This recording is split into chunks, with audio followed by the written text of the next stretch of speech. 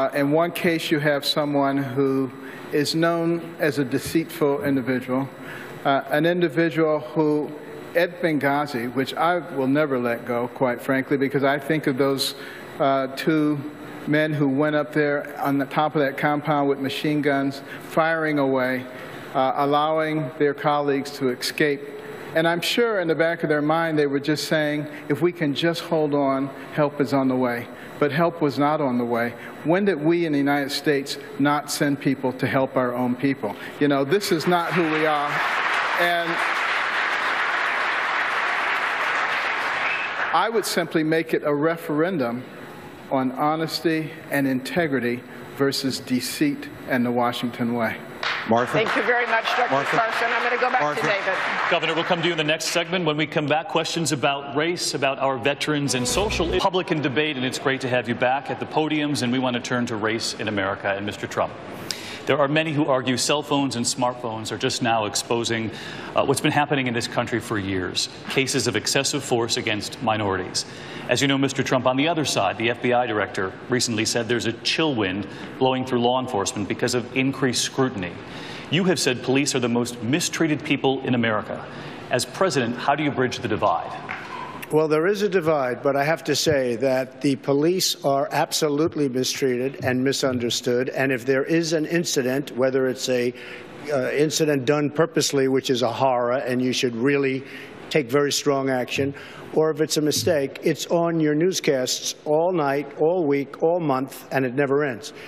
The police in this country have done an unbelievable job of keeping law and order, and they're afraid for their jobs. They're afraid of the mistreatment they get. And I'm telling you that not only me speaking, minorities all over the country, they respect the police of this country, and we have to give them more respect. They can't act. They can't act. They're afraid for losing their pension, their job. They don't know what to do. And I deal with them all the time. We have to give great respect, far greater than we are right now, to our really fantastic police. Great. Mr. Trump, I, did ask about bridging the divide, though, as president. So what would you say to the American families who say, we have lived through this, we have seen excessive force? What would you say to those? Well, they do, and you know they sue. Everybody sues, right? They see excessive. I mean, they go out, they sue. We have so much litigation. I see the courts. I see what they're doing. They sue, and you know what? We don't want excessive force. But at what point? You know, either you're going to have a police force that can do its job. I was just up in Manchester. I met with the police officers yesterday. Tremendous people. They love the area. They love the people. They love all the people. They want to do their job. And you're going to have abuse and you're going to have problems and you got to solve the problems and you have to weed out the problems. But the police in this country are absolutely amazing people. Mr. David, Trump, thank David, you. I do David. want to ask uh, I, I, want, I wanted to say, look, this there can be a win-win here. Uh, I, I have formed a collaborative between police and community leaders because people have to respect law enforcement. A family doesn't want dad or mom going home in a box. And for our community leaders, many of them think the system not only works, uh, not, not only doesn't work for them, but it works against them. And I created a big collaborative in Ohio made up of law enforcement, community leaders, the head of my public safety, and a former Democrat, liberal State Senator Nina Turner run it. They got together, they made recommendations on recruiting, on hiring, on the use of deadly force, and what we're about to do is to bring community and police together so we can have a win-win. We need more win-wins in America, and we don't have to pick one over another or divide. We love the police, but we've got to be responsive to the people in the communities. Governor, we have to thank do all you. of it. Uh, Senator Rubio, I want to ask you next. President Obama visited a mosque this week in America for the first time in his presidency. President George W. Bush visited a mosque after September 11th. You said of President Obama, quote, he's always pitting people against each other. So I'm curious, how are the two visits different, and would you visit a mosque as president? I would, but that's not the, the issue. My problem with what he did is he continues to put out this fiction that there's widespread, systematic discrimination against Muslim Americans. First of all, let's recognize this. If you go to a national cemetery in this country, you will see stars of David and crosses, but you'll also see crescent moons. There are brave men and women who happen to be Muslim Americans who are serving this country in uniform and who have died in the service of this country. And we recognize that and we honor that. That. But by the same token, we face a very significant threat of homegrown violent extremism. We need to have strong, positive relationships in the Islamic communities in this country so they will identify and report this activity, especially mosques, for example, that are participating not just in hate speech, but in inciting violence and in taking acts against us. And I do believe it is important also to recognize you want to talk about religious discrimination in America. Well, I don't think Barack Obama is being, so, is being sued by any Islamic groups, but he is being sued by the Little Sisters of the Poor. We are facing in this country Christian groups and groups that hold traditional values who feel and in fact are being discriminated against by the laws of this country that try to force them to violate their conscience. Senator Rubio, thank you. Martha? Governor Christie, earlier this week, the World Health Organization declared the Zika virus a global emergency. The same kind of mosquitoes that carry the Zika virus in Latin America are found here in the United States, and the virus has been linked to severe birth defects. Governor Christie, at the peak of the Ebola outbreak in West Africa, you ordered an American nurse who landed at Newark Airport be detained and quarantined. As fear spread now of the Zika virus, and with the Rio Olympics just months away, is is there a scenario where you would quarantine people traveling back from Brazil to prevent the spread in the United States? You bet I would. And the fact is that because I took strong action to make sure that anyone who was showing symptoms, let me remember what happened with that nurse. She was showing symptoms and coming back from a place that had the Ebola virus active, and she had been treating patients. This was not just some like we picked her up just for the heck of it, right? We did it because she was showing symptoms. And the fact is, that's the way you should make these decisions. You make these decisions based upon the symptoms, the medicine, and the law. We quarantined her. She turned out to test negative ultimately after 48 hours, and we released her back to the state of Maine. But I want to add something on, on, on, the issue of mosques. Now, I'm the only one up here who's got a law enforcement background and was the U.S. Attorney after September 11th. I went to mosques throughout my state to build bridges, to build bridges between our community and law enforcement so we could get intelligence and information from these folks. I've had the experience of working with them as governor of New Jersey as well. We cannot mix the radical Islamic jihadists with everyday Muslim Americans. New Jersey has the second largest Muslim American population in America of any state. These are good, law-abiding, hardworking people. What they need is our cooperation and our understanding. They do not need just broadsides against them because of the religious faith they practice. Governor Christie, thank you.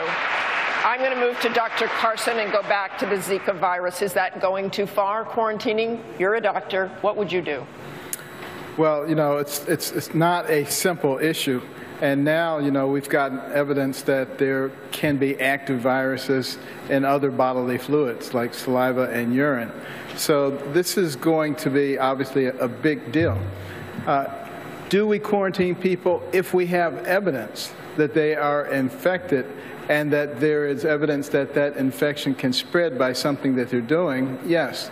But uh, you know, just willy-nilly going out and quarantining a bunch of people because they've been to Brazil, uh, I don't believe that that's going to work.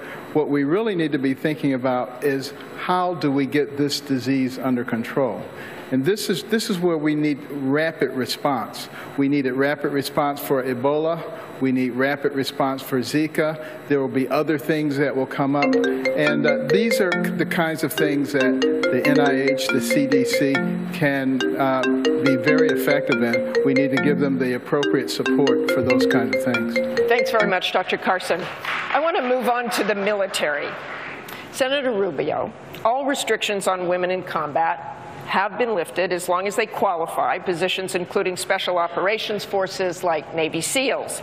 Just this week, the military leaders of the Army and Marine Corps said that they believe young women just as young men are required to do, should sign up for selective service in case the draft is reinstated. Many of you have young daughters. Senator Rubio, should young women be required to sign up for selective service in case of a national emergency? Well, first let me say there are already women today serving in roles that are like combat, that in fact whose lives are in very serious danger. And so I'm, I have no problem whatsoever with people of either gender serving in combat, so long as the minimum requirements necessary to do the job are not compromised. But I support that. And obviously, if now, now that that is the case, I do believe that selective service should be opened up for both men and women in case case a draft is ever instituted. I think the more fundamental challenge we're now facing is what's happening to the U.S. military. I've said this many times already, and I think it's important to start paying attention to this. Our Air Force is about to be the smallest it's been in 100 years. I'm sorry, in our history. Our Army is set to be smaller than it's been since the Second World War, and our Navy is about to be the smallest than it's been in 100 years. I think we need to begin to refocus on rebuilding our military because every time we have cut our military in the history of this country, we have had to come back later and rebuild it, and it costs more, and it's a lot more chaotic and dangerous. When I'm president, we are rebuilding the U.S. military. Thank you, Senator Rubio. Governor Bush, do you believe that young women Say it again. Do you believe young women should sign up for selective service, be required I to do, so? I do. And I think that we should not impose any kind of uh, political agenda on the military. There should be, if women can, can um, meet the requirements, the minimum requirements for combat service, they ought to have the right to do it, for sure. Uh, It ought to be focused on the morale as well. We ought to make sure that we have readiness uh, much higher than we do today. We need to eliminate the sequester, which is devastating our military. We can't be focusing on the political side of this, we need to realize that our military force is how we project our word in the world. When we are weak militarily, it doesn't matter what we say. We can talk about red lines and ISIS being the JV team and reset buttons and all this. If we don't have a strong military, then no one fears us and they take actions that are against our national interests. Tell me what you'd say to American people out there who are sitting at home, who have daughters, Yeah. who might worry about those answers and might Why worry why would that the worry draft is reinstituted. Well, the draft's not going to be reinstituted, but why, if, if, if women are, are should you just do accessing. away with it? No, I didn't say that. You, you, you asked the question not about the draft, you asked about registering. And if women are going to be supporting. the draft. If, but if we don't have a draft. I'm not suggesting we have a draft. What I'm suggesting is that we ought to have readiness being the first priority of our military, and secondly, that we make sure that the morale is high. And right now, neither one of those are acceptable because we've been gutting the military budget. We also need to reform our procurement process. We need to make sure that there are more men and women in uniform than people, than civilians in our Defense Department. There's a lot of things that we need to do to reform to bring our defense uh, capabilities into the 21st century, and I'm the guy that could do that. That's why I have the support of generals, of admirals, of 12 uh, Medal of Honor recipients, and many other people that know that I would be a steady commander-in-chief and rebuild our military.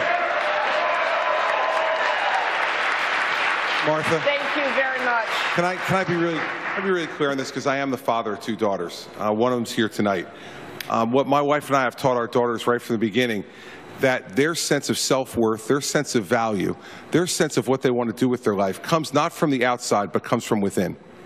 And if a young woman in this country wants to go and fight to defend her country, she'd be permitted to do so.